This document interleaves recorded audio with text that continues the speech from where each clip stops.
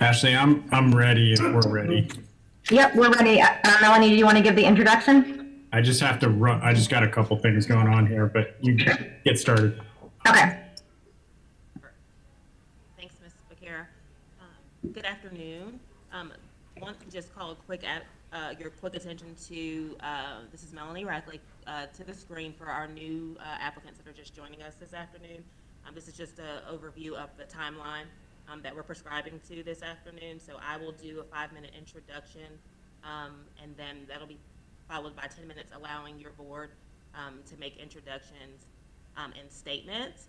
Um, then there'll be 25 minutes devoted to the full CSAB discussion, followed by applicant closing statement, and then the CSAB will deliberate um, regarding um, where in the application process you all will move to. Um, So there'll be three options at the end. Uh, Advance uh, to SBE for approval, application moves to second round interview, or deny application. Um, Just to the applicants, please be aware that there is a raise hand feature in the participant box. Otherwise, uh, we ask that um, you limit conversations um, uh, unless you're, you're asked a specific question. Um, You may also utilize the chat feature. Um, The time limits will be observed. And just note that your resumes and CVs have been made available to the CSAB. Um, So you can limit um, background detail and use your introduction time, um, you know, efficiently to just submit um, and speak to pertinent information, just to maximize the time that we have today. So uh, without further ado, we will move to our next applicant, uh, the School of Stars at Barber Scotia. Um, So what you see is uh, the map here uh, for Cabarrus County. Um, We have about 18 schools within the general six-mile radius here. Uh, The proposed site, being Barber Scotia College, is located on that map. You'll see uh, near Concord High School, Um, but there's a listing of schools that are in the general area. Next slide, please. Okay, so again, the School of Stars at Barber Scotia will be located in Cabarrus County in year one. Uh, Their enrollment projection is for grades K through two with 198 students. Year two, K three, 264. Year three, K four, 330. Year four, K five, 396. And rounding out year five, K five with 396. Um, Barber Stars at Barber Scotia um, is slated to participate in the National School Lunch Program and the community eligibility provisions in years two through five. It is unclear um, in their application what their plans are for year one, and I'm sure they'll discuss that further.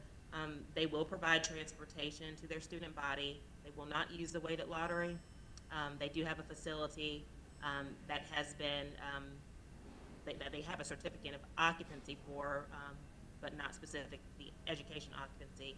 Um, There is not an LEA impact statement on file. They are not a repeat applicant, and they are not using um, the assistance of an EMO or CMO. Um, Their application was complete at the time of submission. So right now, I will turn it over and allow the School of Stars at Barber Scotia for 10 minutes to complete their opening statement and introduction. Good, good morning, everyone. I don't know what's going on. Hello?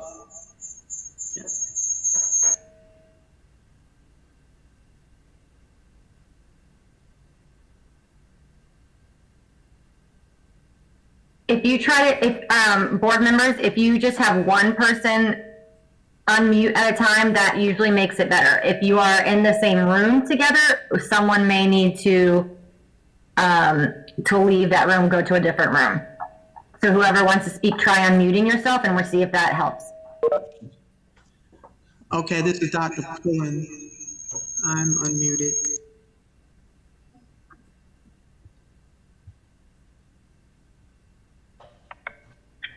Are we Are we okay? That's better.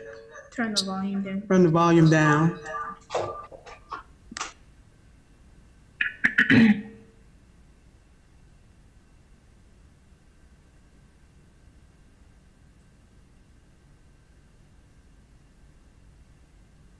That seems to be better. Yes, that, I think that's better. Okay. Um, good morning, um, good, good evening, uh, all. My name is Dr. Jonathan Pullen, and I would like to thank you for the opportunity to present and discuss the details of our charter school application. As you will hear today, our board of directors are concentrated on literacy and improving the and improving the education of various subsets of students in Cabarrus County and the Logan community. Our focus is on building relationships, improving student literacy, encouraging parental involvement, managing financial compliance, and securing a long-term partnership with Barber Scotia College and Black Child Development, Inc. The Board of Directors will now introduce themselves, beginning with Ms. Barnes. Good afternoon. Good afternoon. afternoon. My name is. My name is Maria Barnes, and I'm an early childhood educator with a focus on literacy development for pre-K through second grade.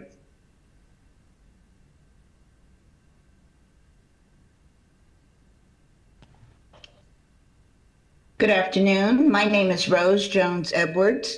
Uh, I'm on the executive committee as the secretary. Uh, my profession of being an entrepreneur, and I will be responsible for the area of governance.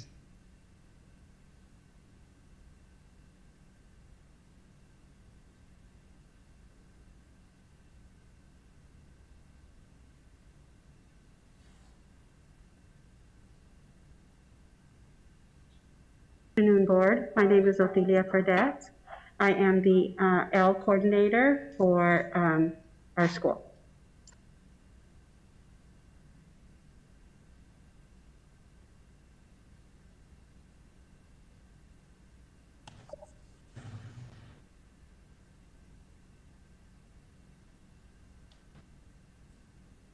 Dr. Pullen, would you like to continue with your opening statement? Is there, you still have time?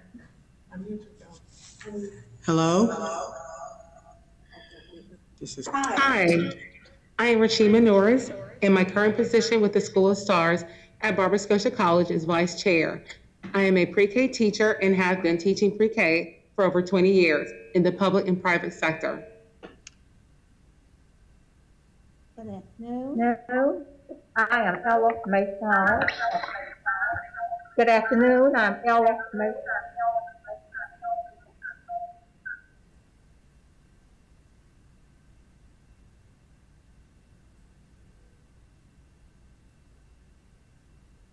We're not getting any audio.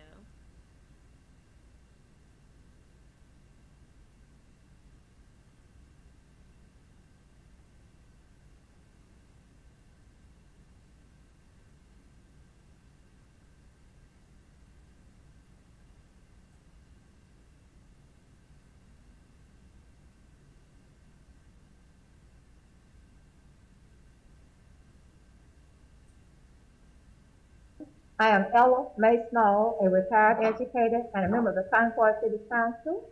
I taught in public school for 42 years with elementary grades and with the secondary children, and this is my 14th year on the Concord City Council. And I'm responsible for the compelling need for charter schools.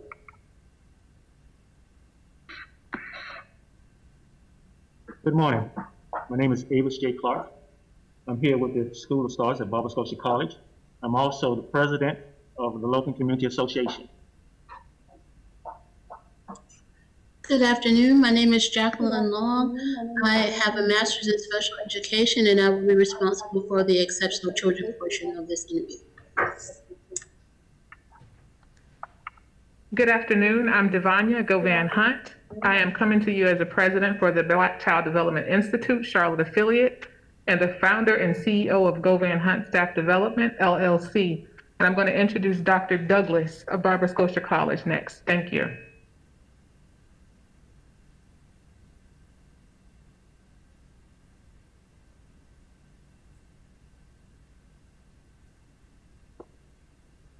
Hi again.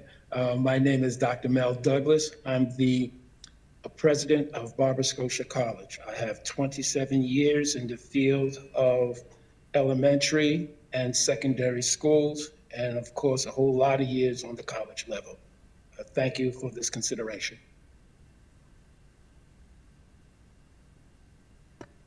Good afternoon. My name is Mercedes Pullen. My background and areas of expertise are in public health, healthcare administration, and business management.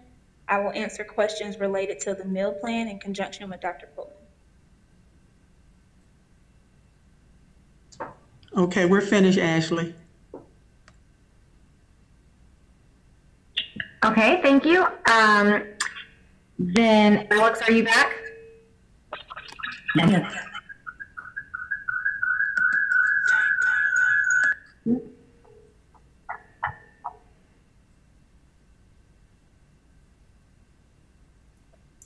All right, well, this begins, oh, there's Alex. Yeah, I'm, I'm here. Uh, we're just getting a wicked echo here.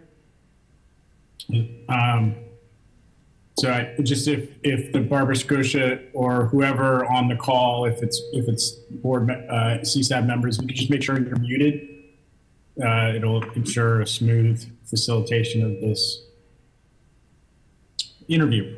Great. So at this point, we're going to open it up for questions and discussion. And uh, those of uh, the folks who are on the CSAB who uh, read this application in depth, I'd love to hear um, what questions that you have uh, today. And just you know, if you could just jump in. Why don't we do this? Um, I know that many of you already probably have questions that you've thought of, so um, I'll go ahead and just open it up. Um, who would like to start us off? Alex, this is, this is Bruce Brand, I guess. Then I'll be next. So Bruce, then Hilda? Yes. Great, thank you. So a few- questions I had was, one was clarification on the enrollment. Uh, It's looking throughout the application and supporting documents, it says K5, but um, unless I'm misreading it, at the very first part of the application, under the enrollment projections, it shows K4. So just clarification on that. Um, At some point, maybe they could speak to um, the education plan, specifically uh, the English language arts curriculum. Um, It looks like they're using Envision Math, if I remember correctly, but it really, I don't think it spelled out what the English language, language arts curriculum was going to be. Um, No, it did. It was uh, the EL curriculum. Oh, okay. Thank you for that. Um, and, uh, and then just, uh, so I'm assuming, uh, understanding correctly, that Mr. Poole and Dr. Pullen will be the, he's on the board now, but then would be stepping off to become the executive director of the, of the school. Yeah, and, just building off that question, Bruce, I wanted to know how many of the board members currently would, would be working for the school? Because I heard a couple people say, I'll manage EC, I'll manage EL. So why don't we start with your question about the, um, just what is the enrollment uh, structure? And then could you clarify the board's roles when the school opens? Okay. Um, the first year, we're opening K through two. Um, we will have 66 students per grade level. So kindergarten will have three classes with 22 students each for a total of 66. First and second grades will uh, replicate that. And then each year, two through four, we're going to add an additional 66 students. And we'll level off in year four and year five. Uh, we won't uh, add any additional students. Um, so the first year will be 198 students. Um, at the end will be uh, 396. Um, in terms of board members that will be uh, interactive with the school, hopefully we're we're we're we're trying to hire as many as we can. They everyone has a current job, um, so we have to be sensitive to that. But certainly, um, um, our our lead uh, on our curriculum, Ms. Barnes, um, Ms. Long for our um, EC, and then again um, Ms. Tilly um, with our ELL. Uh, in terms of BCDI, they will be embedded within the school. So we actually have a place for them um, for the entire school year to work with our parents and to support um, student literacy. Okay, just to clarify again, how many total board members do you have right now? We have 12 right now. Okay, and how many are here for the meeting? We have nine that are here. Um, we uh, had, I got a call this morning from our treasurer. Uh, he's bedridden and can't make it. We have another board member because we are in a confined space who had some current concerns about COVID-19. Uh, Ms. Jones, so she's uh, she's in. Um, one of our financial advisors, uh, Mr. Fisher, um, he resigned from the board. Um, he was already the chair of three other boards. Um, plus, he's got kids and grandkids. But he said that he would remain as a financial advisor. And um, once we're chartered, he will uh, take over the uh, process of applying for 501c3. Okay, so four board members are going to potentially work for the school? Yes, if we can, in their specialty areas, which they'll be responding to today. Okay. Bruce, do you, did you did you have any follow-ups to that? Well, I- I guess just a clarification then that those board members would then be stepping off the board if they're actually going to work for the school, correct? That's absolutely correct. And I will step off myself um, once we're chartered and become the uh, ED. Alex, can I ask a question? Yes. Um, can you tell me exactly what this nonprofit is going to do? And is the school paying the nonprofit? Oh, yes, okay. Um, I will let uh, Dr. Govan Hunt handle that. Thank you for that question. Um, the National Black Child Development Institute Charlotte affiliate actually focuses on parent engagement um, from a multi-pronged aspect. And through that parent engagement, we have literacy as a focus. So we will be supporting the School of Stars through making sure that their parents have appropriate uh, materials and opportunities for engagement with the school and the educators as well as the community. We are a nonprofit. We are one of 28 national affiliates across the country, and we charge absolutely nothing for our services. So we will be providing culturally relevant and responsive literature to the children that attend the School of Stars, as well as their families, as well as opportunities for their families to engage in opportunities that look at health and wellness, um, policy issues as well, in terms of making sure that their children have adequate opportunities once they graduate from the School of Stars, and also providing um, professional development opportunities for the teachers or for the staff, the administrative team of the School of Stars at absolutely no cost. So this is not an employment, this is a partnership. Okay, uh, Mercedes Pullen is related to Dr. Pullen in which way? That's my father. And will you, will you be staying on the board? Once your dad is employed, will you be staying on the board? No, I will not.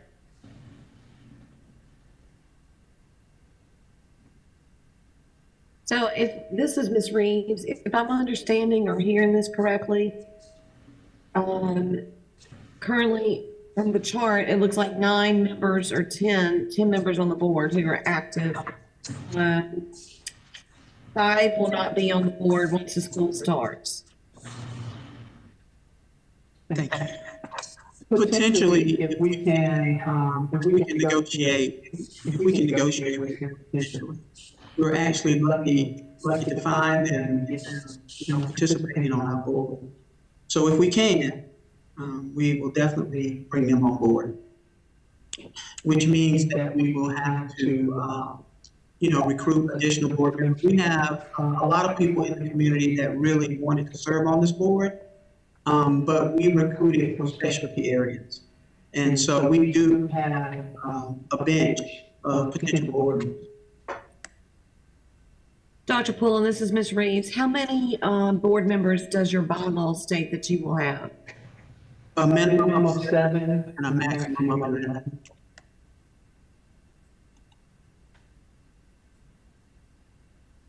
This is uh, Jeanette Butterworth, and I have a question really for um, that would like to kind of to weigh in. Um, as I look at your mission statement, which is to improve leadership skills of K-5 students using curricula and one-to-one technology as tools to accomplish SMART goals. Um, I, that leaves me wanting a little more description about the, the learning environment. So if I'm a, if I'm a potential parent looking at the school, what is it that I would see to the, to a classroom? What is it that would compel me to want to involve my child in school? And I, I saw a lot of things and written in the application, but I, I'd like to hear y'all describe um, what it's going to look like. And then also in there, I'm curious about the relationship um, with the college.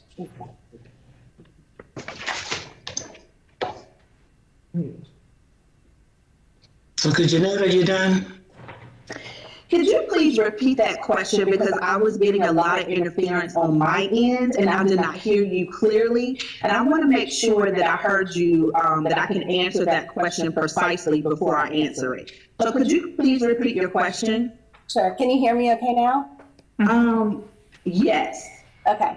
So I read the mission statement, which I feel is a, a fairly general mission statement. And it, it left me wanting more information about what it's going to be, what's the learning environment going to be like in the school. And I read a lot of the in the application programs. Um, but I was wondering if, if y'all could describe to me what, what I'm going to see, what I'm going to hear, what it's going to be like walking into that school. So if I'm a parent, what's tell me to want want to engage, and then also curious about um, the relationship with the college.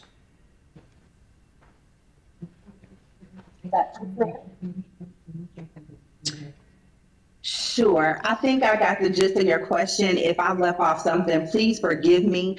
So when you um, when you ask about the learning environment, as a parent, if you were to walk in TSOS and walk into any classroom, you will see students involved. You will see students with smiles on their faces. You will see productive struggle because we want our students to uh, experience productive struggle so they can be successful in what they are learning and their learning opportunities that um, that they see fit. Um, the engagement with their children they are going to be engaged with each other. Teachers are going to be facilitating that learning. And when I say engage with each other, they are going to be using higher order thinking skills or higher order language to communicate with each other. Um, also, the relationship with the college, we will have staff that will be able to come, that that will be employed with Barber Scotia, that will come over to um, the School of Stars and collaborate with our with our staff or the School of Stars to exchange that to exchange that one-on-one or that expertise that we will need for the School of Stars. So the students will constantly see excellence at all times while they are on campus. Mr. Quigley, can I have Yes, two thank you for that question. Uh, Can you hear me? Okay, uh, thank you. Uh, One of the, one of the things that's exciting me about the School of Stars, and one of the reasons why I agreed uh, for the School of Stars to be housed here was that uh, Dr. Pullen and his philosophy is in- in alignment with what I want to do with the college. I've been here for about uh, one and a half years now. And my goal is to bring Barber Scotia College, uh, not where it was, but beyond that, in terms of academic uh, excellence as well as its engagement with the community. This is an excellent opportunity for, for us. We also have in our curriculum a college for parents. And what that means is that parents who have youngsters in school, particularly at, in the School of Stars, will be able to come on the weekends uh, a couple of times, uh, uh, sorry, a few hours a week, and they'll be able to chew and chat. And uh, what that means is that they're able to come here, have a breakfast on a Saturday, and talk about some of the innovative things that we're doing, not only at Barber Scotia to help children be better learners, uh, but also to talk to the faculty, uh, not only at Barber Scotia, but at the School of Stars. Uh, that way, there'll be a linkage. Uh, they can take some non accredited classes in uh, child psychology and, um, and, and in the latest teaching strategies in order to help students be better learners. So uh, we're excited, and uh, we can't wait to get our our uh, our uh, selves involved on a much higher level. The other thing is that we have excellent facilities here. Uh, these youngsters, we have a huge gym. We have a huge yard that they can play in. The facility that they'll be housed in is a contemporary facility. It's a rather large you know, facility. In fact, it's the largest on the campus. And we have a beautiful auditorium. Uh, and uh, we have a lot of eating space, if, if you will. Uh, our our uh, our cafe, cafe, I'm sorry, our cafeteria is so large that the local folks around here at the hotels like to use it for banquets. So there's a lot of good things that we have. We have a modern kitchen, very big, in fact, better than some restaurants around here. So uh, we're, we're excited, and we have an elevator so that the youngsters can go from one floor to the other, um, you know, uh, without any uh, problem and it's a lot of light, a lot of light. So uh, again, we are we are excited about working with the School of Stars and uh, and the community at large. Thank you very much. So just to follow up on that, um, could help us understand. You kind of painted a picture where the the students are going to kind of have access to the whole college. How is how is that going to work? Where this you know, are they going to be eating in the cafeteria with college kids? What does that, what does that actually look like? No, no, no, no, no, no, no. They will not be eating in the, I'm sorry, they will not be eating in the Catholic. I'm sorry, they will not be eating with the college students. Um, We have a huge, we have a huge cafeteria, but we also have a Catholic cafeteria. No more. It's muted now. Can you hear me? Yeah. no. Okay, I'm sorry. Uh, and we have time for the students to eat. In other words, at Barber Scotia, it is not, you know, you don't go into the large Catholic. I'm having a problem with the word cafeteria today. Uh, uh, anytime you want. There's a smaller one for students who are, who are college students that they can access that. But downstairs, uh, we have what we call the Sabre Den. And that's a beautiful facility where the students hang out. Uh, we have a full a kitchen down there where, they can get salads and, and hamburgers, hot dogs, and there's a music uh, space there. So there's nothing. Room. How many students are on campus, and how will you keep the uh, keep elementary students separate from college students? Well, for one thing, the students do not have classes there. Uh, we have enough room on our uh, campus where, where the college students will will be taking classes someplace else. Okay, we have a couple um, we can probably circle Oh, back. oh, to I'm sorry, I'm sorry. You asked how many students do do we have? Presently, the students are online because of the COVID. Okay, How um, many students do you have? Excuse me? How many students do you have? They're online. Oh, we have But how many 150. do you have? 150.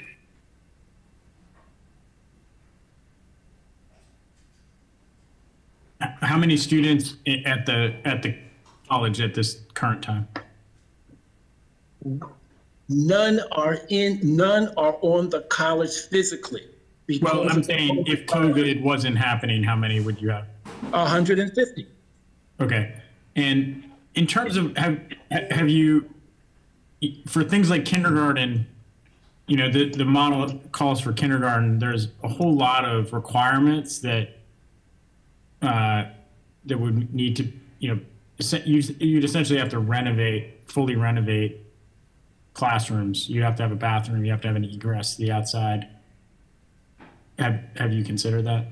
Yes, I have, because I have a degree in early childhood education. So I, and, and I've worked as a daycare center director and a preschool. So I know all about that. Yes, I do. And I, and we've made, and, and we've made accommodations for those students to be here. And to piggyback off of that, Alex, that was a good question that you asked. Thank you for asking that. Um, we will have money in the budget for renovations, and we have already looked at those renovations and considered those renovations that we will have to do to the building for those early childhood classroom, for those early childhood classrooms such as kindergarten. So thank you for asking that question. Okay, we have a couple ed plan questions. I want to, Heather, I believe has an ed plan- plan question, then Rita, I think you have a question. Uh, hi, it's Heather Buchanan. Um, I wanted to ask about the alignment of project-based learning, which is uh, seen throughout your um, proposed application. And um, let me turn down Blue's Clues here real quick. Um, so I want to make sure that um, with prescribed curricula between EL and also Envision, um, that that's something that's going to work. Can someone speak to that, please? Hi, Heather. Yes, um, to answer your question, it will work because L- the EL curriculum itself is based off of project-based learning. Um, so when you dig deeper into the curriculum, the curriculum itself lends to project-based learning. Everything around or centered around the curriculum has different projects that the children will be working on in collaboration with um, language development and other skills that they will need. So the EL curriculum itself is based off of project learning um, background off of project learning collaboration. So that will be incorporated within L and Envisions.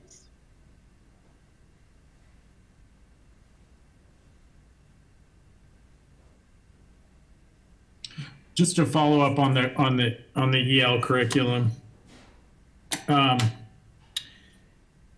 you, you said you did research on, on that curriculum. What, what led you to it? What led me to the research was one, we wanted to find a curriculum that was language based, that we could use that would develop language and vocabulary within early learning, uh, early literacy or early learners. We wanted to reach those early learners first and have that foundation solid with them. So that's what led me to the research behind the EL curriculum. Because when you start looking at the EL curriculum, that's one of the things that they that they pride themselves on, or they're known for. They're known for setting that solid foundation early for early early literacy. So by the time the children get to third grade, they will have that solid language foundation. It will also help with the reading success pathways that will get them ready for third grade as well.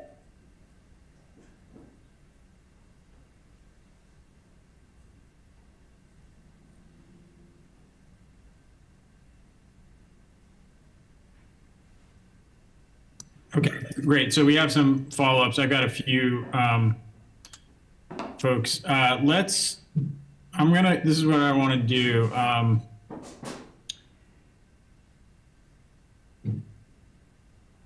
uh, Heather, do you want, or, so one, one follow-up to that question was, Sherry said, uh, you know, if PBL is, is so important, why is it not mentioned in the mission and vision? Could you comment on that? I can answer that, Alex. And uh, it's very simply, um, when I was putting together the mission statement and the vision for the school, um, it was just something that we um, just did not think about consulting with Ms. Barnes about. Um, we were just focused on our technology and literacy and things of that nature. So it was an oversight on my part. I take full responsibility for that. Okay. Um, so otherwise you would have had that in the in the budget. Okay. Um, so we have a we or in the uh, in the mission statement we have a couple. I'm just trying to. There's a bunch of chat questions coming in. I'm trying to manage here. Um, let's let's get into the budget quickly. Um, I'm going to hand it over to Lynn. And then uh, Hilda, you can kind of follow up because your question is connected to around the assistance. We can kind of take it from there. Go ahead, Lynn. This is Lynn Kroger, and I just had some questions around the budget. Um, I noticed that in years two through five, you have other revenue budgeted, and I just was curious what that was related to. Um, Yes, that was the, um, I call it the pass-through um, budget f- um, for um, lunch, um, free and reduced lunch. We just put that in the budget, pass it through as other, as other revenue. So you have an offsetting expense then for child nutrition? Get to that not sure I understand how that goes through.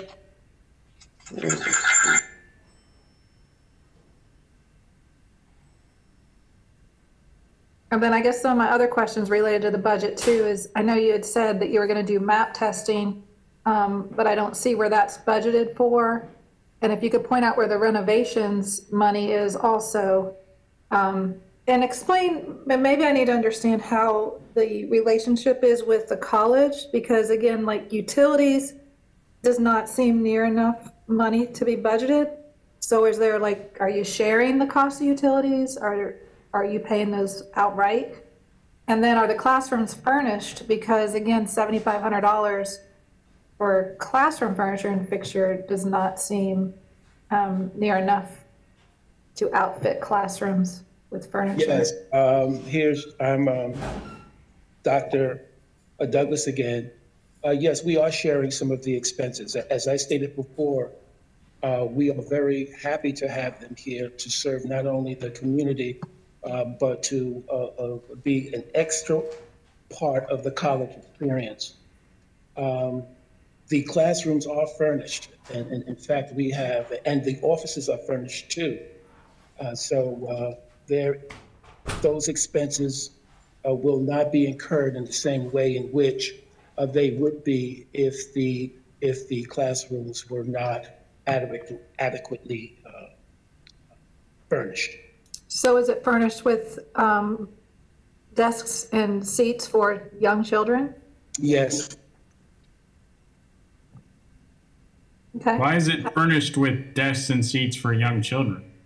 because we had i don't know if you know the history of the college but we had a what we call a kiddie college here for many many years uh, so well when the school when the school went through its transition what we did is just we just stored it away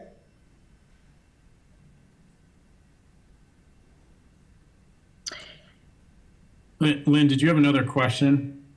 Well, also, as far as busing, two buses don't seem like enough for, you know, 200 students. Um, And the MAP testing, I don't think you addressed the question about MAP testing or even the renovations. If you could point that out also where that's at in the budget. Okay, um, let me start, um, with the renovations. The, um, the school does not need a lot of renovations. Matter of fact, it, it really doesn't need any. Um, what we will do is put in some T15 lighting.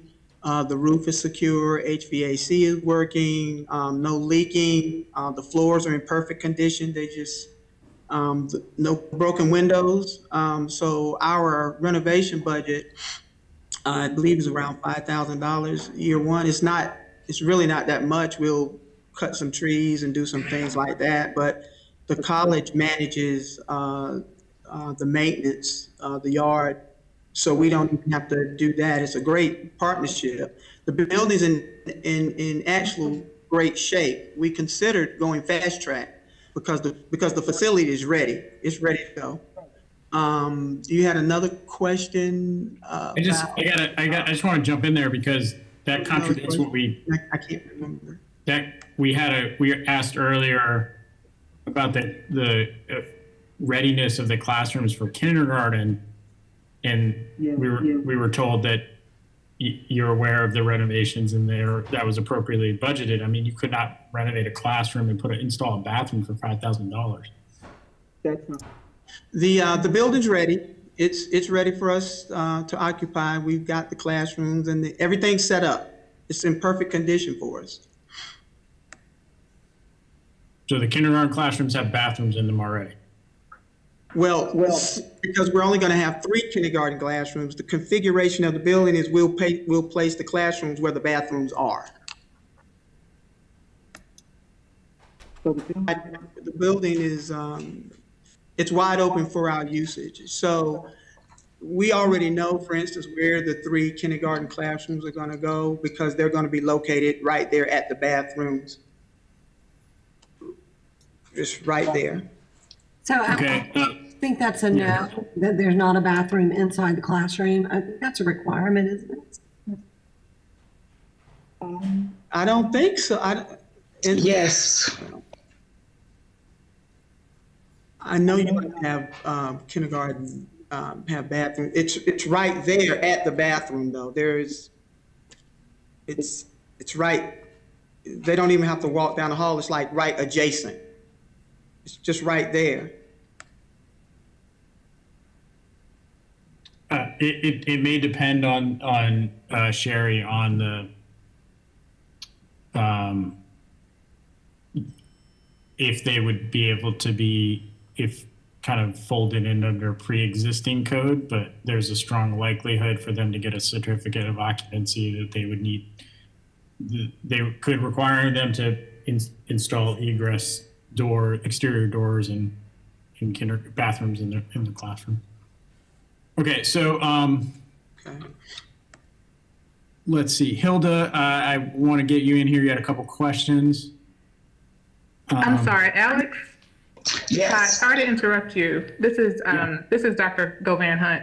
Uh, in regards to the restrooms for the kindergarten classrooms, as Dr. Pullen pointed out, the kindergarten classrooms will be held in classrooms that were previously used for the kiddie college.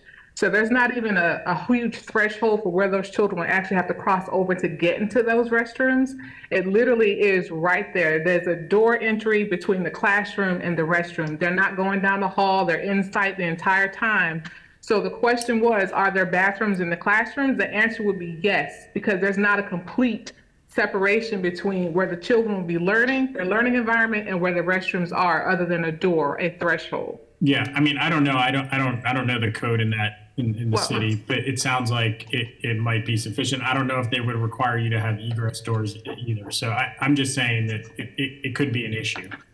Um, uh, you know, they, they can be maniacal about some of this stuff. Um, okay, so Hilda, you had a question? Yes, I have several here. Okay, thank you, Alex. Back to the enrollment trends. How will the well check visits be face to face with families should COVID still exist? Give us an update on how you intend to change that process. And which community groups are you currently receiving funds, as you mentioned in your application, and how much? I'll let you answer those two, and then I'll be back. Thank you. Um, For the community funds, um, we haven't received any commitments. We have organizations that we plan to market with and get commitments, but nobody has made a financial commitment to the school yet. Um, but we're looking at organizations such as the Panthers, uh, NASCAR.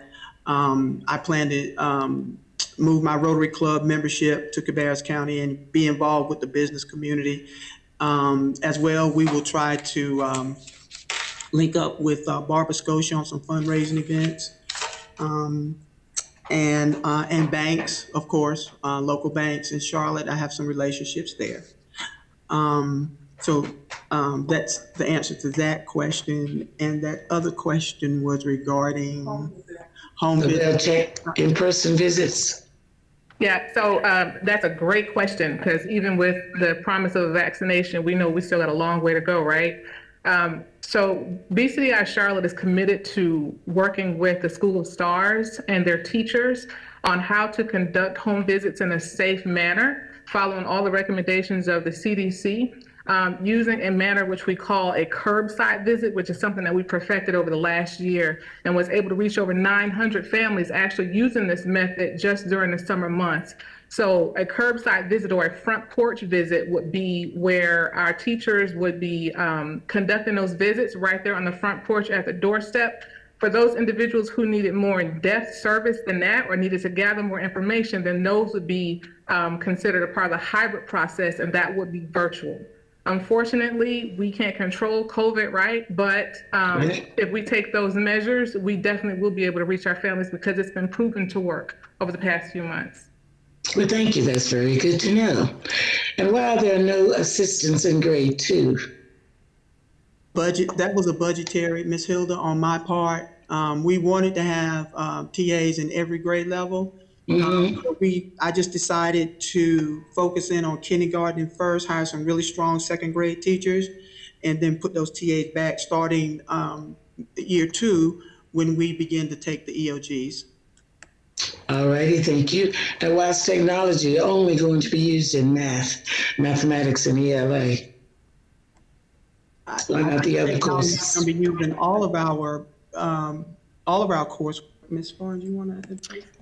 Technology will be used throughout the day, and the children will be able to take technology home as well.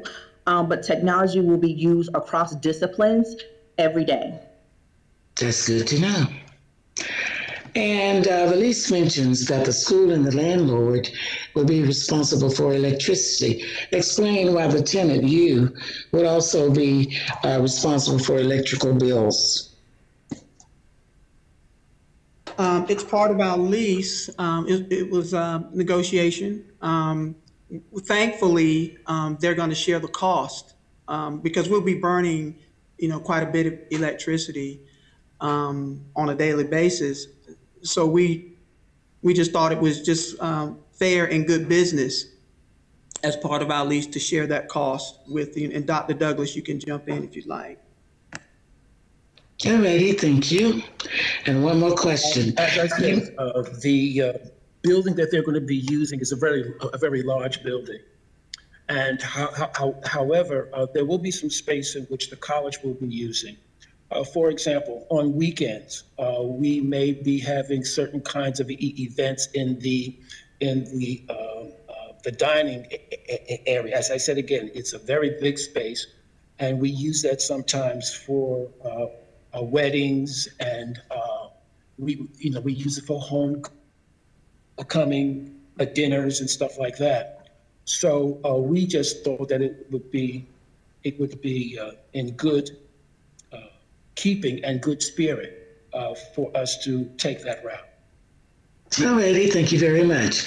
And one last one, you mentioned that students with special needs will have access to Uber, Lyft, and or taxes. Now, suppose I do not have a child who has special needs and would just love for my children uh, to take Uber or Lyft or a taxi.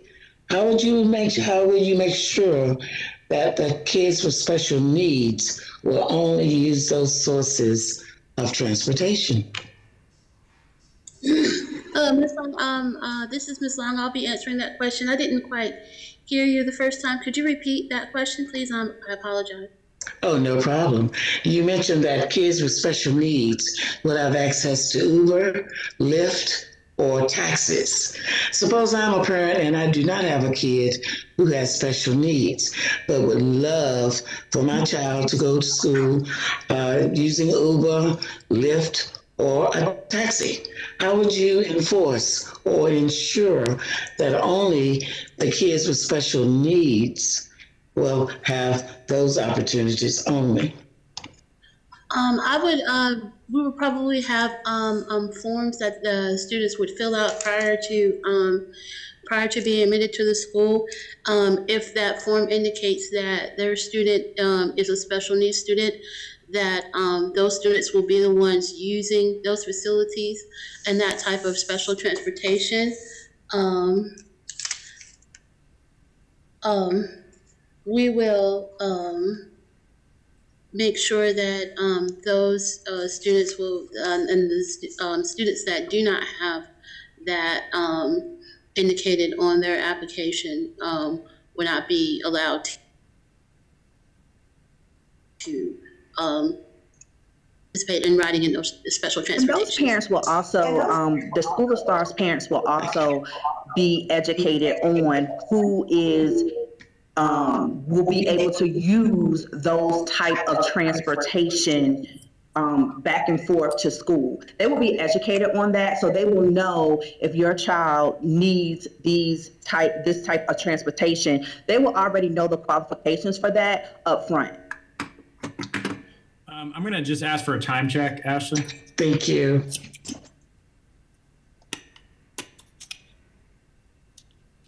Ashley, do you know We're where we are at- or, uh, We're 14 minutes over. okay, that's what I, or Melanie, yeah. Okay, yeah, that's what I thought. Okay, so I'm gonna, um, we're gonna, we'll give the school an opportunity to make a closing statement and then we'll close discussion, uh, close Q and A for now.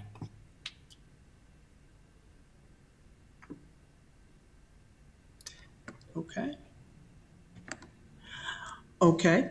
Uh, the Board of Directors of the School of Stars at Barber Scotia College sincerely appreciates the opportunity to answer your questions and share our mission for the students in Cabarrus County and the Logan community. We want to thank Dr. Melvin Douglas of Barber Scotia College uh, for providing us with guidance, uh, facilities at affordable rates, and a long-term business relationship. As stated in our opening statement, uh, we will focus uh, on building business relationships, improving student literacy, improving parental involvement, managing financial compliance, and securing a long time, I'm sorry, a long-term uh, partnership with Barber Scotia College and Black Child Development, Inc. Thank you again, CSAB, for your time and consideration of our application. Okay, and so at this time, we're going to close uh, discussion with the, with the uh, STARS Board. And so at this time, uh, just as a reminder, you're, you're not permitted to, to speak unless we ask a question. Um, And we're just, I'm going to open it for discussion at the board level. Um, Who would like to start us off? All right, Alex, this is Joel Ford. I, um, Go ahead, Joel. I've been listening, thank you. I've been listening and I've read the application. I'm very familiar with, um, Scotia College and, and its own challenges, right? So I like the idea and I want to be supportive, but I've got so many questions as it relates to the facilities there um, and how the students would be separated uh, in the future post pandemic and how the college students would be able to, because having schools on college campuses in the state of North Carolina is not new. I just think that for me, um, I need greater clarity on a facilities plan as to how the students will use what facilities, when and where, and then when the college students do come back, what they will be using. And then secondarily, you know, the budget, there are some questions there that I need to wrap my mind around as it relates to um, how they will be able to successfully operate the school and then do it in a sustainable manner. But in terms of a concept, Mr. Chairman, uh, in terms of location, in terms of the, the needs of the students for choice in that area, I am aware of them and I know that they need it. I just need to make sure that the charter school can be successful on that campus, given uh, the many challenges that the current college is experiencing and has. I, I'm aware that they do have new leadership there and that the president is working very, very hard. I just want to, you know, make sure that they can coexist and, and both can do it successfully. All right, other comments? Chair, this is Rita Haire speaking. Um, I agree with Joel Ford. I, I, want, I love the concept and want to see the success of a school meeting these types of needs. Uh, but I have a number of concerns that I don't know could be answered uh, this quickly or that there are answers yet. It, it just feels like there needs to be more time. In the short term, the year one meal plan concerns me uh, with a budget of about $2.20 a child uh, for the first year. Just don't know how that will be managed. I know they talk about free food and some other things, but it's just it's very um, conceptual right now. Um, I wanted to, I wondered about uh, Dr. Govan Hunt. I know that she runs a nonprofit. I did have a question if she also operates a business. I don't think there was ever clarity there, but I wanted to hear that develop. I know the board members are fluctuating and there will be shifting and changing, but currently we don't have any uh, background checks on any of the board members. And um, that may seem like a technicality, and it, and it kind of is, but it's part of the documentation that we collect, and it would be an important submission uh, if the school were to go forward. Thank you. Other comments? Chairman Quigley, this is Lynn Kroger. Um, yeah, I agree with, um, Mr. Ford. This is definitely a high need area and we need, um, charter schools in this area. I am concerned, however, because it is a smaller school and being able to support that budget. Um, I would like to see more confidence in, uh, the board understanding the budget and making sure that all the line items are accounted for. And um, I just also just understand how that facility is going to work with college kids on that campus as well, and making sure that the kids are kept separate. It would be very interesting to see how that um, is going to be handled. I'm, I'm, I'm going to jump in here and just say that, you know, I, I do, I think it's an innovative idea. Um, I don't feel like it's ready for prime time and uh, I don't, I don't see the gaps that I'm, I'm seeing. Um, able to be uh, bridged between now and next month. And, and I think this, you know, I'd like to see that this team work on this and really flesh things out uh, and come back to us next year with with a more cohesive plan. So that's that, I'm not going to support the application moving forward, um, but that's just want to go ahead and put my thoughts out. Alex, this is Cheryl, and I was going to say what you just said. And I agree with you too, Hilda Perley. Um, Mr. Quigley, this is Ms. Reeves. I was very concerned um, when I was reading the application um, because of the number of folks that I thought would probably be on hands-on with the school, basically on payroll with the school. And then in the meeting, it was fleshed out that about six members will go off the board. Um, we've seen this in the past with founding board members. When they don't stick around, their school doesn't succeed. Um, that's just one of my major concerns. I have concerns about the mission, and plan, the budget. Um, I, I really don't. I, I do agree that this would be an awesome opportunity to partner with Barber Scotia College. Um, I know that they're on uh, have fallen on hard times. Um, and this would be a great opportunity for the Logan community and the children in that area, but this is certainly not ready, in my opinion. I would like to make a motion that we do not move um, the School of Stars at Barber Scotia forward at this time. This is Lynn Kroger. I second that. Properly moved and second and discussion on the motion. Yes, uh, this is Joel Ford again. Uh, I know the board members um, and the president of the college are listening, and so I want to be clear that this is a worthy idea And I do understand that there's a sense of urgency for the charter school, for the college and the community. However, I, think what we're trying to say here, and, and let me speak for myself, we want to position the charter school for success. We want to make sure that the charter school can be able to sustain that success. And so there's some open questions, there are some some issues and some challenges that we believe or that that I believe need to be bridged in order for that success to happen. So I'm hoping that you uh, guys will stick around and stay and then come back. But uh, I'm going to unfortunately have to support this motion at this time.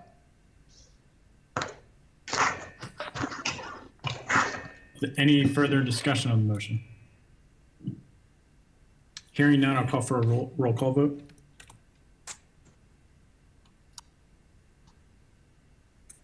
All right, Jeanette Butterworth, Aye. Joel Ford, Aye. Bruce Friend, Aye.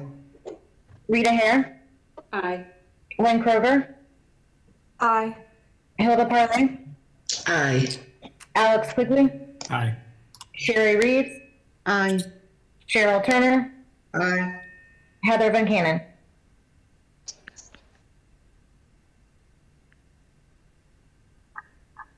And it might have gone off, but it has passed unanimously.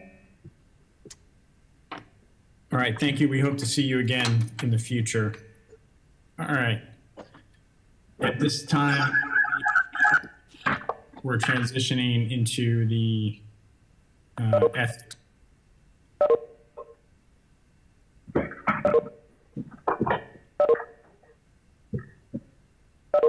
right, Mr. Uh, Ziko, are you on the phone? I am. All right, how are you, Tom? So happy to be here, you know, after lunch at the end of the meeting, you know, just ready to get everyone really interested in public records and open meetings and ethics.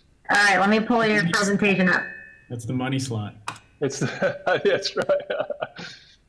yeah, yeah, you always like to speak after lunch, you know? Uh,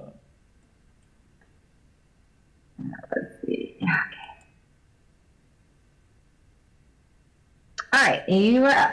All right, so uh, today uh, we're going to go over three things uh, public records, open meetings, and board member conduct, or hopefully ethical conduct. Uh, and we're going to cover a lot of material quickly. And you'll need to pay close attention because at the end there's going to be a test that you must pass in order to get credit for this course. And I've been involved with advising people and fighting over public records and open meetings and some ethics issues for about 30 years. And from my personal experience and study, I can tell you that the laws applicable to public records and open meetings are extremely complex. Uh, in fact, I've taken cases to the Court of Appeals on these issues and lost them which only goes to show that the Court of Appeals can be wrong so many times. Uh, but the fact that there's a lot of real law in here uh, doesn't mean you have to know it all. What you need to know, you need to have a rule of thumb. So when you get in a situation that requires you to make a decision, you'll have an idea of what to do. So back in the early days of Saturday Night Live, there was a comedian named Don Novello who played a character named Father Guido Sarducci. And Father Sarducci was an Italian priest with a heavy Italian accent, offered his insights into modern life from a, a slightly skewed Italian Catholic perspective. And one of my favorite bits of Father Guido Sarducci was the five minute university. And the five minute university was a university that in five minutes, that for $20, would teach you everything you would remember about your college five years after you graduated. So the $20 included a cap and gown, it, it included a 20 second spring break with orange juice and a sun lamp and a graduation photo. But in that five minutes at, the, at Father Guido Sarducci's university, you'd learn everything you would know about economics five years after you graduated from college. Everything you knew about economics five years after graduation was supply and demand. If you were a business major, you learned buy low, sell high. If you studied religion, you found out where God was. God is everywhere. And if you went to law school, you learned that ignorance was no excuse. So today we're going to go over a bunch of public records and open meeting stuff, but you're not going to need to remember most of it because frankly, you do not have to deal with the details. That's why they pay Ashley and me and a bunch of your other lawyers the big bucks. Uh, so what you'll need to know is the five minute university part. So at the beginning and the end, I'm going to tell you what the five minute university part is about all of these issues. So if you actually go to the public records slide, number 132, move up, you're gone too far, you're going too fast. Going too fast. Public records. What do you need to know about public records and five minute university? You need to know that everything is a public record.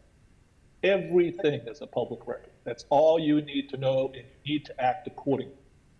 So every time you do something, every time you type something, every time you leave a recording, every time you take a note about charter schools, that is a public record.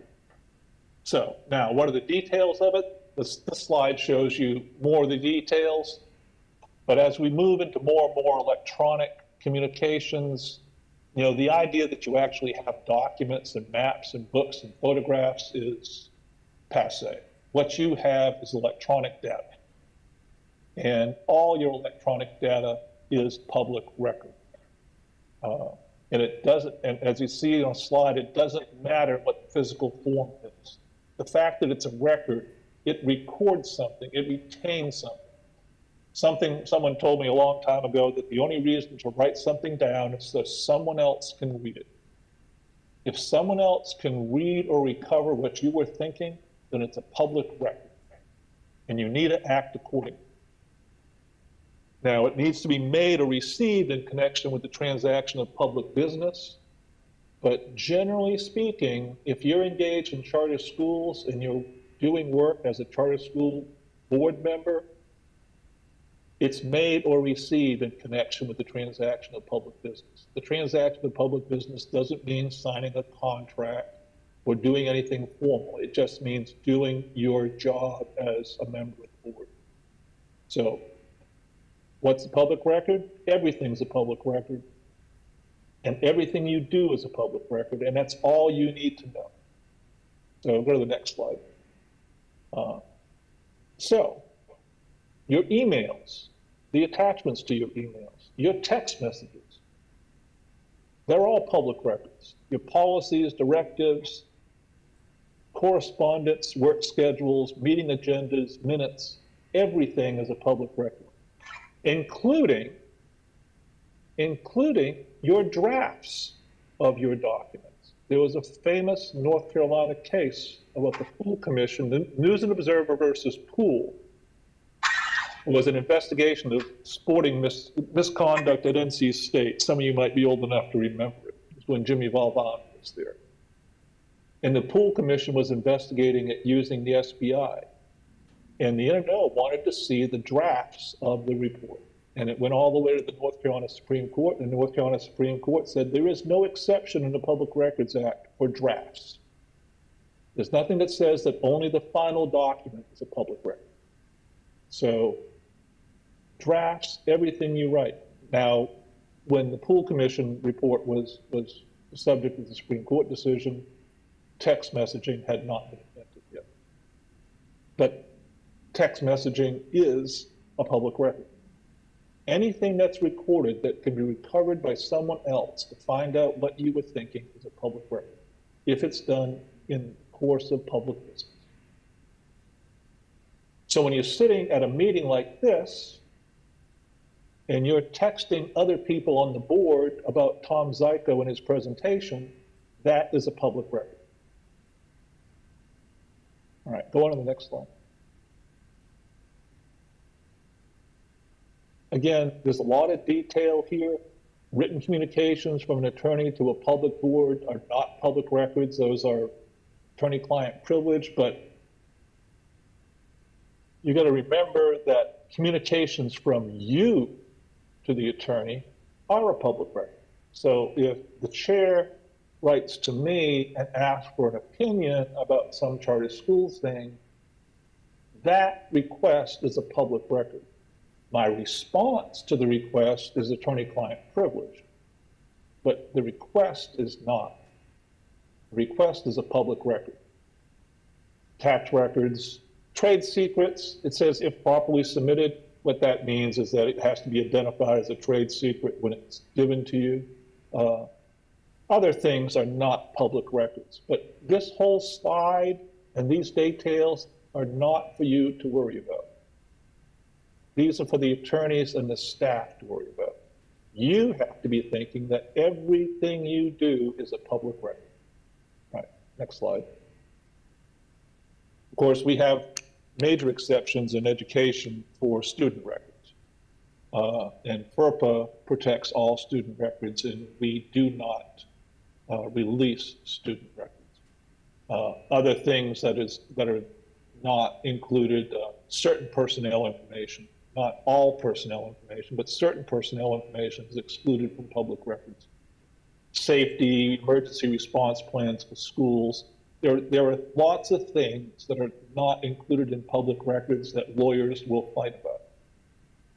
But for your purposes, when you sit down and you write something and you work on something, you should assume from the very beginning that it's a public record. All right, next slide.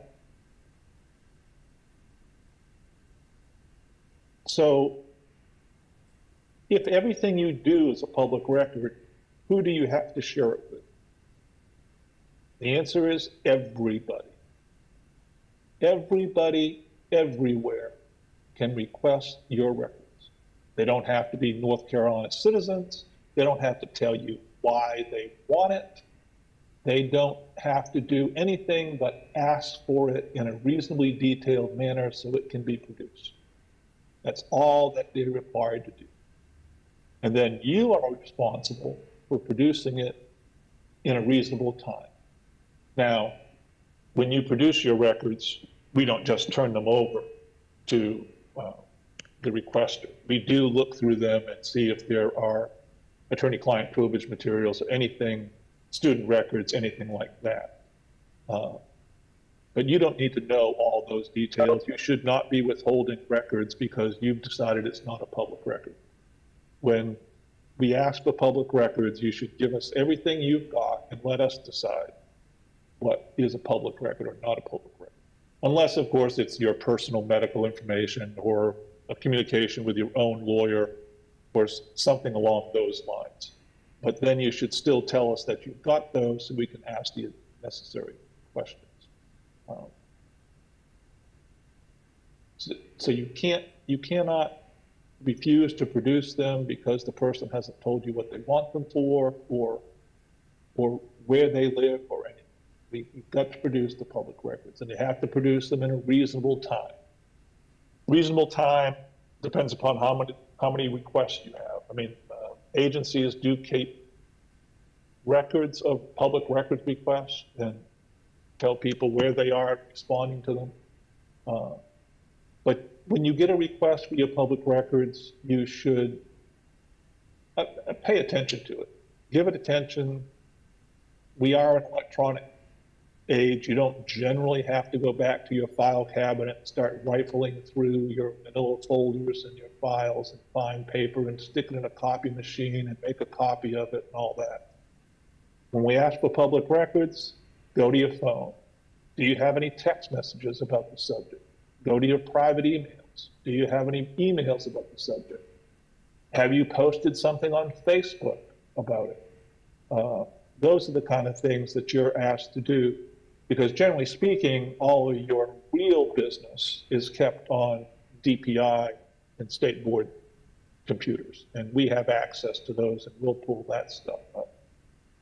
Generally speaking, when we ask you to produce a public record, we're asking you to look at your private devices that we don't have access to. Uh, so that's what we're asking for there. Uh, I wanted to say something about your devices. Uh,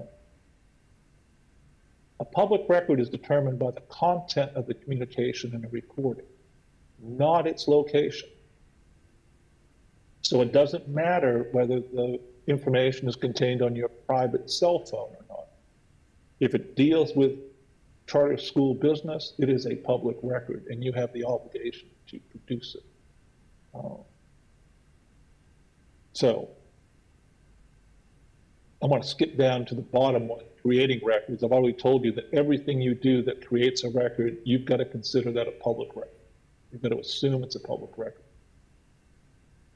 Commingling of public and non-public records. For example, if you have a record that has information in it, but also has information about a particular student, the law requires us to redact the personally identifiable information, but produce the record. So you cannot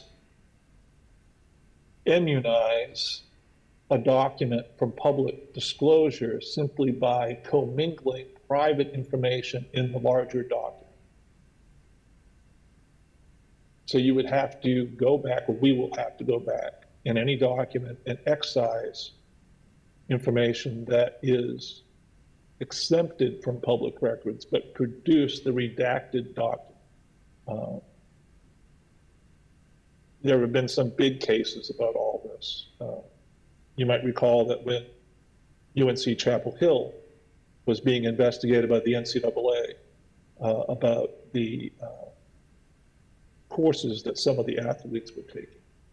Uh, there was a huge public records request by, made by a consortium of newspapers and televisions and radio. And uh, they reviewed millions of documents. And in the course of reviewing it, they went through all those documents and redacted the individual student names, redacted personally identifiable information, but they produced the underlying documents. Uh, and so commingling is uh, no reason not to produce the document.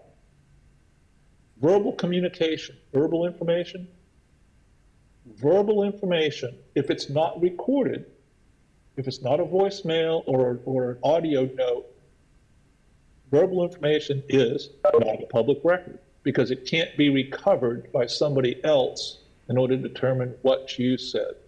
It's just a transitory, ephemeral act, speaking. Which gets me to one of my rules of thumb is that if it's a sensitive matter, pick up the phone and call. You don't have to write everything down. You don't have to text somebody. You can call somebody. It's, you're not creating a public record when you call someone. Now, the fact that you called someone, the fact that you called me, would be a public record. But there wouldn't be any way of recovering the, the conversation. And so it's not, the, the contents of the call are not a public record. We would have to produce the log that you called me and we talked for an hour and a half. But we wouldn't have to produce anything about the content of the conversation. So picking up the phone, the phone is a wonderful instrument, especially when talking to lawyers. Pick up the phone and call. You don't have to create a public record just to seek advice. All right, next slide.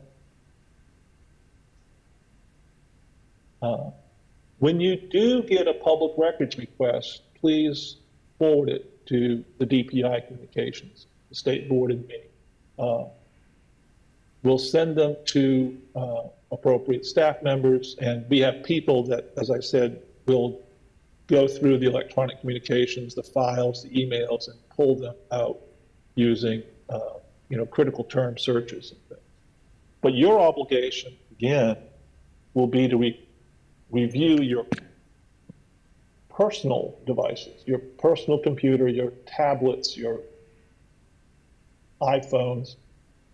Well, I don't think anyone has recorded voicemail on their tape players at home anymore. Uh, but we need to have your personal communications uh, off your devices if they are public records. And then do the same thing, download them to some format and uh, send them to the person that's requesting. And that will be the most common involvement you have with public records. It's, it's recovering information on your personal devices because the fact that it's on your personal device doesn't mean it's not a public record. It's a public record if it's recorded and it deals with charter school business. All right, next slide. What, what can happen if we are not responsive? Uh, the requesting party can run to court and get a court order to require the release of the information. Uh, and you can also, in that action, have to pay the attorney's fees if the information was unreasonably withheld. Uh, so it can cost you money. Uh, so, what do you need to know about public records? You need to know that everything is a public record and act accordingly. Don't ever assume that something you're doing is not a public record. Because even if you think it's about students and you have student information in it, you'll discover that you have to produce the record without the student's name. So the exceptions are very narrow and the exceptions are strictly. If, it's, if there's not an exception in the statutes for it, then it's not an exception. So your drafts are public records. So when you open up your laptop and start writing something about charter schools, you need to assume that what you're doing is a public record and someone else will have the opportunity to read it. Which, again, is the only reason you're writing it in the first place. All right. Uh, do we want, Ashley, do you want to take questions? Do you want to wait till the end, or are we set up to take questions? Are you set up to take questions? Totally up to you. Well, let's get through the material first, and people can keep notes, and then we'll take questions at the end, because if there aren't any questions, then you'll all get to go home early. Uh, Let's go to open meetings. Open meetings. Open meetings are very complex. There's a lot of issues about open meetings. But in the five-minute university, what do you need to know about an open meeting? You need to know that you're not subject to open meetings if you don't have a majority of people present on the board. So you need to know that if there's not a majority of the board present, it is not an open meeting. If there is a majority of the board meeting, it is very, very likely an open meeting. So all the rest of the detail you can forget. What you need to do is count noses. When you get to a quorum, you've got an open meeting. And then you have to, you have to have noticed it and comply with the open meetings laws. Uh, But those things are not things that you should have to personally worry about. That's what Ashley and I and other people, staff, support you, get paid the big bucks for. Uh, So remember, when you look around a room, if you've got a quorum for the Charter School Advisory Board, then you're in an open meeting. All right, so let me give you some detail about that. Uh, You are a public body. You are authorized to provide advisory, advice to the state board. Therefore, you are a body subject to open. Don't even think about it. All right, next slide. There are other examples in DPI, the textbook commission and, and the uh, PEPS and those, but all you need to worry about is yourself. You are a public body subject to open. Next slide. This is, this is the answer to the test question. A majority of members, that's all you have to think about. Are there a majority of people present? Because this long list of things, legislation, policymaking, quasi-judicial, administrative, all those legal terms, don't worry about it because you are advisory. And the only reason you're meeting is to provide advice to the state board. And since you are an advisory board, you are subject to open meetings. It does not matter when you get together, how you get together, where you get together. If you, and the COVID, the COVID has shown all of this to be true. I trust you haven't met physically with a majority of the board for months, and yet you've had any number of open meetings. Same thing with telephone conference calls. Whether they're set up officially or you do them from home on your cell phone. If you've got a majority of people simultaneously communicating in a medium of some type, you are in an open meeting. You are in an official meeting. And you have to comply with open meetings. Next slide. What are the requirements of open meetings? Primarily public notice. You have to tell people that the, the, the, your board is meeting. You have to tell them what you're going to do. You have to give them a time and a date and location so that they can attend and listen to what you're doing. Uh, but again, staff should be taking care of all this for you once you decide when you're going to. Uh, the amount of notice depends upon, you know, you should be publishing your regular calendar. If you're meeting every month, you have a calendar, of monthly meetings that don't need to be noticed but once a year. But if you call emergency or special meetings, there's a certain time period. I think the minimum time period is 48 hours. Uh, but, uh, but you have to give notice so people can appear and listen and, and watch if they can. Uh, what do you have to do during the meeting? You have to have written minutes. You have to keep detailed minutes of the subject, the motion, the, dis- the second, the discussion, the vote. Uh, most all of this stuff now is done by recording, which is a public record. Uh, so you have to publish, you're going to have a meeting, you have to tell them why you're having a meeting, and then while you're at the meeting, you have to keep minutes. That's basically the obligations of, uh, in order to comply with the public meetings law. But again, that's not what you have to be worrying about. You just make sure that your staff is authorized or directed to do these things. What's the next slide, Ash? Now, we're slipping over into ethics. Uh, so uh, at the beginning of your meeting, you are obligated to read this statement, and you hear it again and again and again. And I'm not going to read it to you, but you are obligated to read the ethics statement, and everyone's obligated to disclose their conflicts uh, at the beginning of the meeting. Uh, and I trust you're all familiar with this and do it on a regular basis. Uh, and if you do, you, you're in compliance with this aspect of open. This is one thing that you must do. You can't you can't delegate this to the staff. All right, next slide. Closed session. There is a list of things you can do in closed session, uh, but you shouldn't do them without consulting with staff or counsel. Uh, closed sessions can be uh, very particular.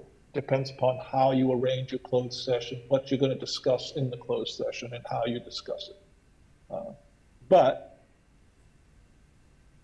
one of the procedural requirements is before you can have a closed session, you have to have a regular session, right? You have to be, you have to meet as a public body and then go into closed session. And then you have to come out of closed session, reconvene the open session, and then adjourn. So there are procedural requirements for complying with the closed session. Uh, this has been a problem or an issue. I won't say a problem. It's been an issue whenever you're doing sensitive things.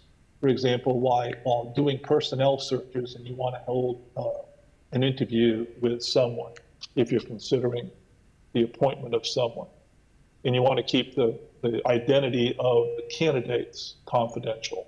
Uh, you still have to meet an open session and say that your purpose is to meet with candidates.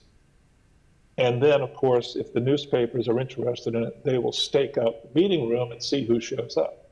And that was has always been a big issue in uh, large, you know, major appointments to large government bodies like the Board of Governors, constituent institutions, selecting chancellors or presidents. Uh, and it's it's it's difficult. But uh, before you go into closed session, you have to have an official meeting, you have to have a motion to go into closed session, which is particular. The motion to go into closed session has to identify the particular reasons to go into closed session. And then it has to be a motion. You can go into closed session, primarily the most closed sessions are for attorney-client privilege. Uh, Another one is to discuss uh, confidential records if they're coming from charter schools. You can, you can go into closed session to preserve the confidentiality of records to be discussed in closed session. Uh, Before entering into contracts, you can go into closed session to discuss some contract materials. And then, uh, the other big exception is to discuss personnel matters. Discussing personnel matters, though, has, an, has a, a limitation. You can go into closed session to discuss personnel matters, but you cannot go into closed session to discuss matters related to your own members. So if you have a dispute on your board where board members are not getting along, and you feel like you need to address that, uh, you cannot go into closed session to discuss the qualifications of your own board members. Nor can you go into closed session to discuss the qualifications and conduct of other public bodies. It's only employees, it's only personnel that you can discuss. You cannot discuss your own board or other boards in closed session. And even if it is a personnel matter, if you were hiring people, uh, if you were to make a recommendation no, let me strike that. You can discuss personnel matters in closed session, but final decisions regarding personnel, for example, hiring someone, or firing someone, or promoting someone, or assigning them new duties. If you are in the business of doing that, you can discuss it in closed session, but you have to take action in open session. And I don't know that you do any of that. I don't know that you do hiring. But that's, that's a, a, a trick to closed sessions that you can discuss, but you cannot take action on personnel matters. All right. What you need to know is that for attorney-client, you can have closed session discussions for attorney-client privilege. And you can maintain confidentiality of student records. Those are things that you are more likely to do uh, than personnel. All right, next one. What happens if uh, you violate open meeting. You can be enjoined to hold an open meeting. You can be stopped from having a, a meeting that doesn't meet the requirements of a closed session, say. And you run the risk of having your action invalidated. And you'd have to go back and review it in an open session. Uh, there's a lot going on in open meetings, the, the exceptions, but you need to remember that if you have a majority of people together, you most likely have an open meeting. There is an exception for social, purely social activities. This is the holiday season. If you gather together with a majority of the board members at someone's house, well, that would be a violation of some executive order, I'm sure. But, uh, but purely social meetings are not subject to open meetings because you're not supposed to be doing state business. Uh, so you can have you can have uh, a meeting like also, if, say, for if a majority of your board were at a conference about charter schools, that wouldn't be an open meeting because you would not be there to conduct state business. You would be meeting for other purposes. Uh, and you wouldn't be making decisions. Well, for the most part, if you've got a majority of your board present, you need to be thinking that this is an open meeting we have to notice this, or we have we, we can't discuss state business. All right, next slide. Uh, good online resources. Uh, you can look up a lot about open meetings. You can look up a, lot about public records. Uh, there's a lot been written about it. Uh, next slide. These two works by David Lawrence are classics. Uh, they're thin volumes. It's worth keeping them, but but they are not included in your five-minute university tuition. So you'll have to call your parents and ask them to send money to buy them for yourself. Uh, but they're worth having. Almost all the lawyers who work with public bodies have these, these books. And so do all the reporters, by the way. So, uh, worth reading if you're interested in all the details, but what you have to remember about public records is everything is a public record. And about open meetings, a majority of people present constitutes an open meeting. Those are the things you've got to remember. If those things are happening, then you talk to staff or your lawyers about it. Don't, don't try to be making your own decisions about things. All right, next slide. Now, ethics and conduct are things that you have to be responsible yourself. Uh, but we'll also get to uh, the role of the attorneys and other people in this area as well. Uh, so uh, these policies, go to the next slide, Ash. These policies uh, are all state board policies. It's my opinion at present uh, that you're not subject to the State Ethics Commission because you are purely an advisory I don't know that there's anything that you do that is a final decision. Uh, the statute that creates you is a, statute that says you make recommendations, uh, and advisory boards are not subject to the statewide uh, board ethics requirements. But you are subject to state board policy, which is listed here, and you should be familiar with state board policy, and that's what uh, this presentation is about. Uh, so let's switch over to uh, state board policy. I can't believe Steven's not here to hear you say that. Because he's been saying that for seven years. What's that? That we're not subject to the Ethics Act because we're only an advisory board. But Well- we've been told multiple times that we are. Uh, so who told you you were? I think, I mean, Dave would remember, right? It's someone else who's been around chime in here, right? Hasn't Well, the General Assembly requires that we take the course.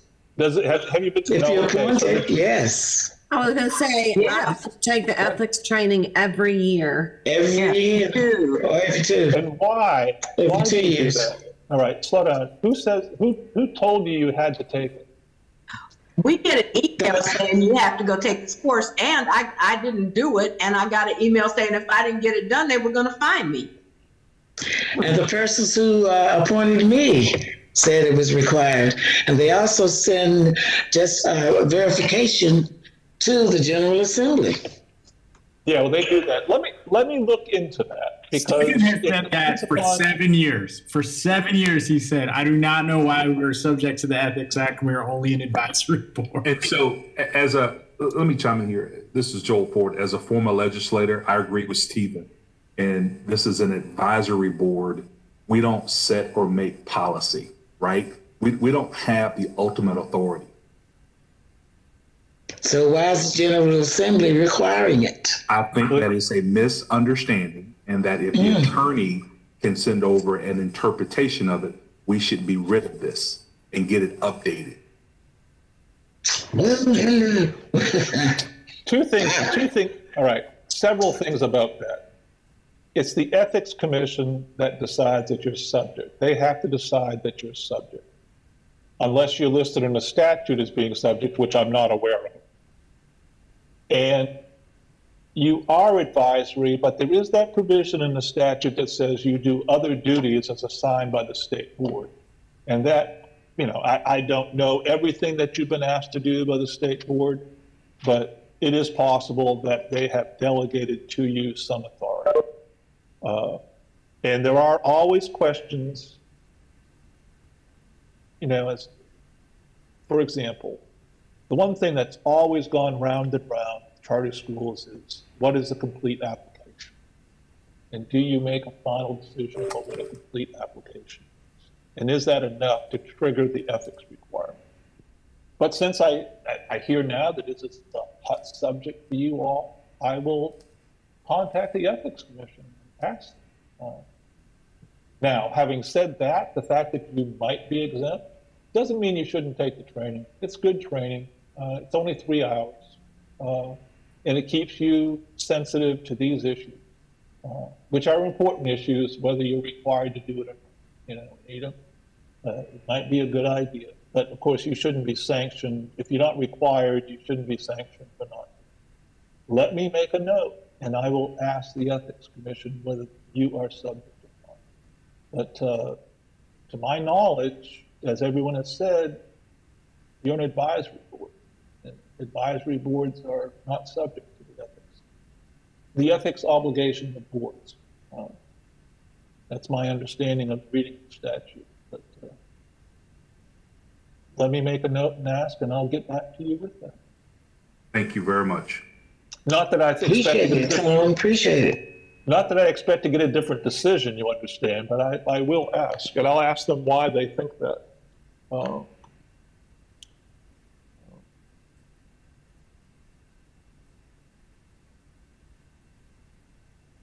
Making a note. Okay. Uh, But these are things you are required to do, and that is comply with the State Board of Education policy. Uh, And those policies require you to comply with the applicable laws, which might be the ethics laws and rules and regulations. Uh, Again, don't get caught up in this. Uh, All right, I was going to tell you what the five-minute university rule is for ethics. If you don't want to read about it in the newspaper, ask. If you feel, if, if you don't want to read about what you did in the newspaper, make sure you ask. And then it can be explored and a decision can be made. Because conflicts of interest and these ethics are highly, highly factual.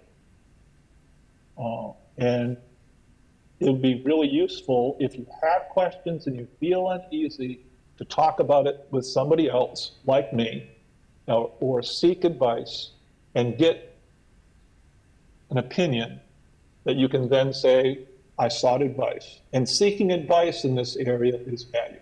It's, it's a good thing to do.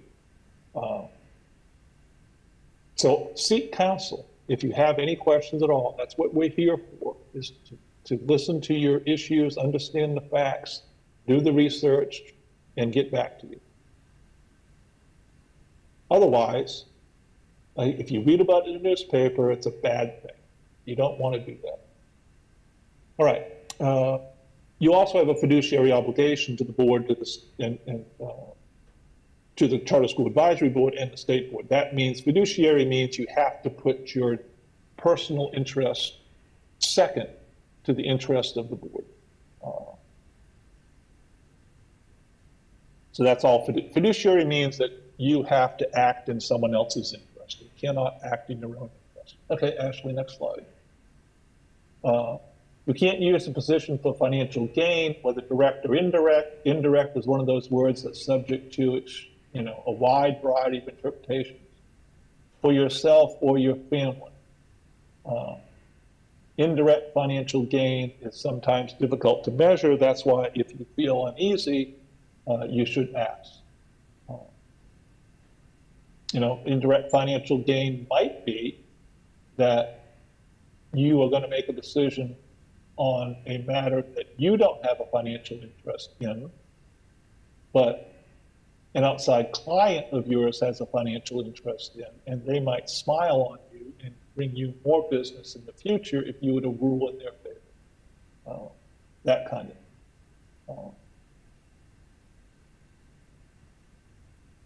under the board policy, actual conflicts of interest are prohibited.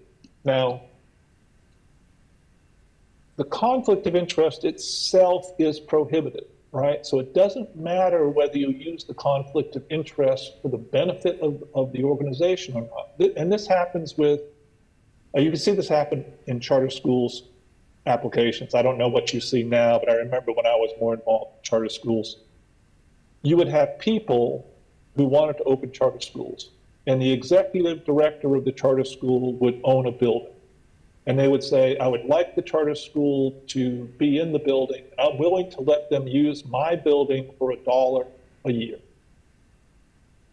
That is a conflict of interest you have an ownership in a building that you're leasing to the organization that you have fiduciary interest in. The fact that it's to their advantage doesn't mean it's any less than a conflict, any less of a conflict of interest. It just means that the conflict is working in favor of the public body. But the policy prohibits the conflict of interest whether it is in favor of the public body or not. So in other words, you can't use your position to help the public body any more than you can use your position to hurt the public body. You're just not supposed to be involved in decisions that involve your personal interest. Also, the state board policy prohibits, you from engaging in circumstances that create the appearance of a conflict of interest. They're supposed to be avoided. And appearances of conflict or interest are difficult because lots of times what people think is based upon an incomplete knowledge of the facts. And if they had the full facts, they would not think that way. But sometimes they would think that way irrespective. Uh, so, uh, appearances of conflict of interest are difficult. I, I appeared before the state board state board of state bar Uh, of for lawyers and complained about their use of appearance of conflicts of interest because they ought to be concerned about realities, not appearances.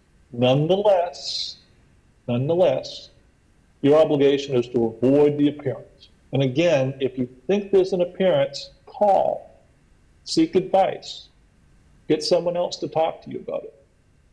And in the end, if you don't want to read it in the newspaper, don't do it, no matter how innocent it might seem. All right, next slide. Uh, the board is nonpartisan as a whole. You don't support public entities. Of course, there, you have a First Amendment right to engage in your own political activities, but you cannot, as a board, do anything political. Um, what do you do with uh, a conflict? If you have a conflict, you report it, you recuse yourself from the discussion, and you report it. You report that I've got a conflict of interest, you withdraw from the discussion, and you get reported in the minutes that you withdrew and you cover yourself and you insulate yourself from the discussion. There are different ways to apply conflicts of interest. Some conflicts of interest prohibit you from participating in the vote. The better practice is to, is to avoid the vote, avoid the discussion, and perhaps not even be present for the discussion. If that can be made, you can absent yourself from the meeting during a discussion of something in which you have a conflict, it's best to do that just because once you decide there's a conflict, you shouldn't be involved and you don't want anyone to look like you've been involved, so just withdraw. Uh, it's the easiest thing to do. Next slide. Tom, Joe Maimone put uh, the statute in the uh, chat box if you want to look at it. Is it a statute that actually? No, I don't know if the stat says covered board advisory board shall be treated as a board for purposes of chapter 138A of the general statutes. And then, in addition to ethics training, we are required to complete an economic statement. Okay, so that's, no, the, the economic statement is separate. That's a different obligation. Advisory board treated as a board purposes of chapter 1, 115C 218. Ah. Ah, so you did get a special piece of legislation. Let me see. 1218, which is your creating statute, covered board, the advisory board. Okay, I'll find, if, obviously, if it says it in the statute, you're subject. Nothing I can say will change that. I just wasn't aware there was a specific statutory obligation for this board because typically advisory boards are not included uh, in the ethics obligation. Uh, but I will look at that. Uh, and also, well, anyway, okay, good. I mean, if that's in the statute, you are subject and it's clear and you've got to do it. And as I said before, it doesn't hurt to do it anyway. It's good. It's good to know what your ethical obligations are because, as I said, the idea is to avoid appearing in the newspaper, right? It's not good for anybody to have a controversy about whether you're acting in the public interest. And the more sensitive you are to that, the more likely you're to avoid problems Oh, there it is, right there. Number three, the advisory board shall be treated as a board for purposes of chapter 138A of the general statutes. Hmm. look at that. Just because you're a board doesn't mean you're subject to the ethics. I'll, I'll have to study that further. See, that's the kind of thing you should bring to your attorneys and let them study it. All right, we'll move on. Uh, if you violate the conflicts of interest policy, you can be suspended from the board. Uh, and if you violate it really badly, if you take if you take money in exchange for your vote on something, you could be subject to criminal violation.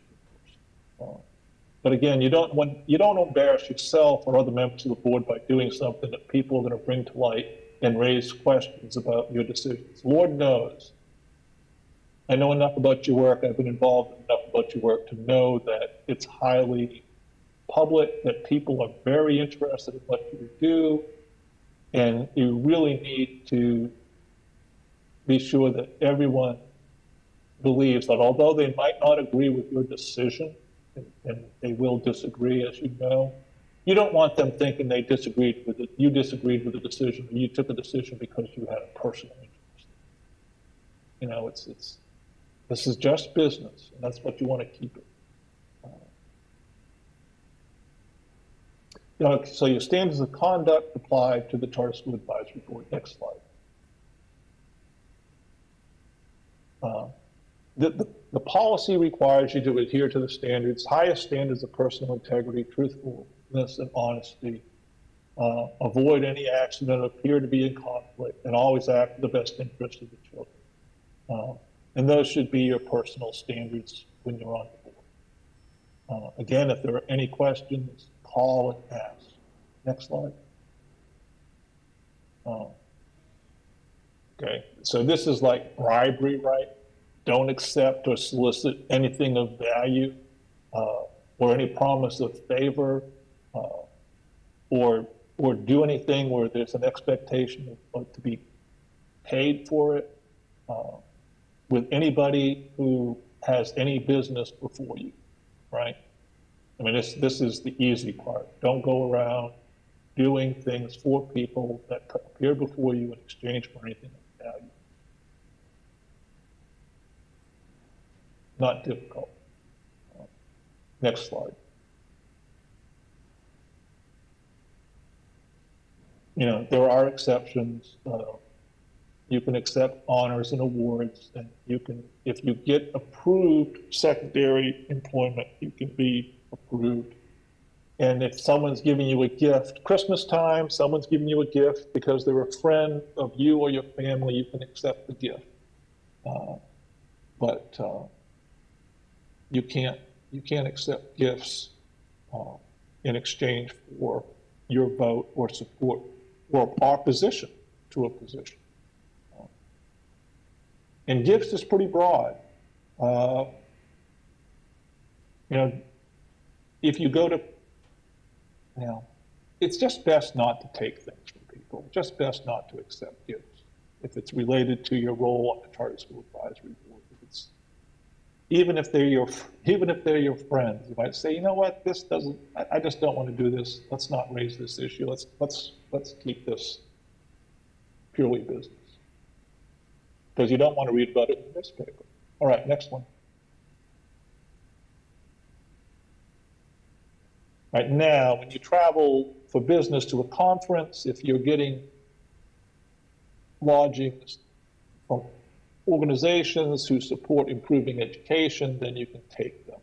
But you can't take them from people that are selling things to DPI or you.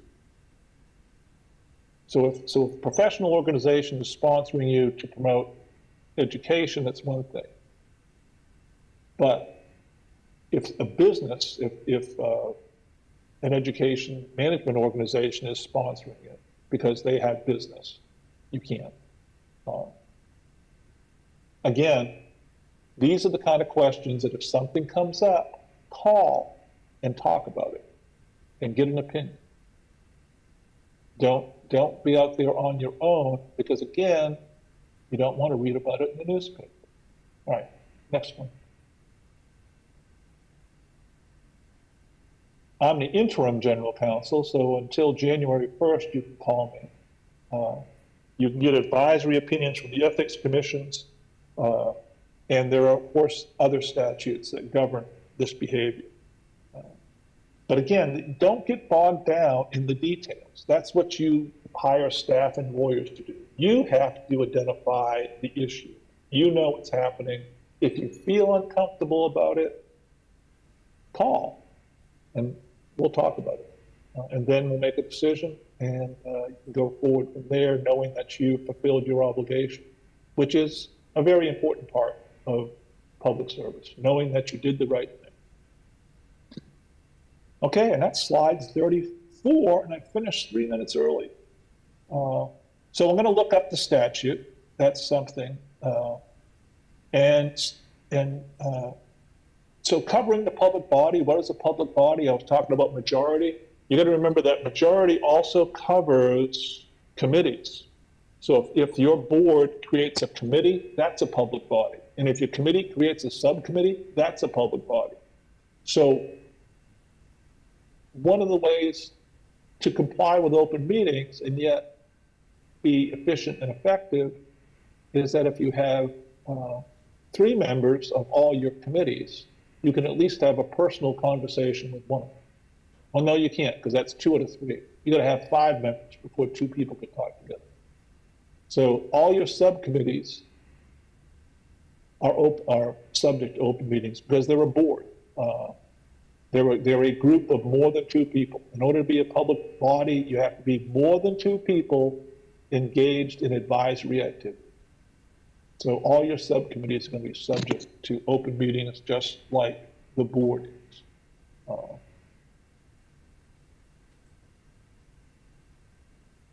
anytime you have a majority, it's an open meeting. Uh,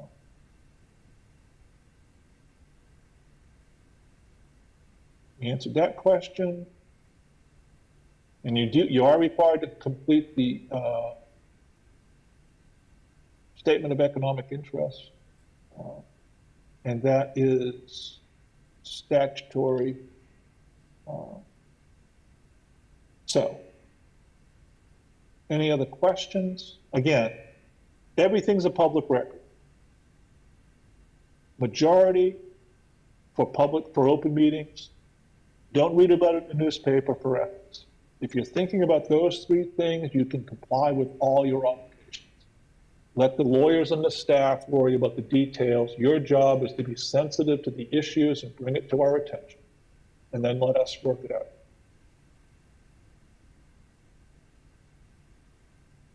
All right. You can ring the bell and everyone can go home unless you had a question. Nobody, quick, nobody ask a question. Move to adjourn.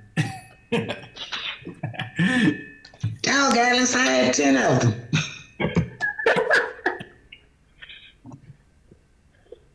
I'll second your motion, Alex. All right. Tom, that was great. Thank you. We appreciate it. Very good. And I will talk to the ethics, I will talk to the ethics people about that. And back to you. And you're pretty funny for a lawyer, so well done. No, it's, it's, uh, you, you gotta laugh through the pain. Thank you all. Go out. All in favor? Do good, do good. All right. So tomorrow, we'll pick it back up at 9 a.m. tomorrow, y'all. See you in the morning. Bye, guys. One. Bye. Bye-bye.